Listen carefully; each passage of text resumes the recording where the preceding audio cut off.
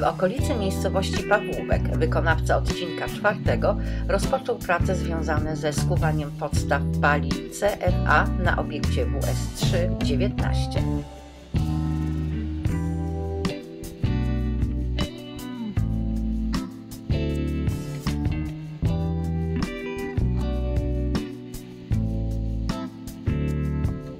Rozpoczęto wykonywanie zbrojenia ław fundamentowych pod obiekt WS3-13 w kilometrze 17 plus 200.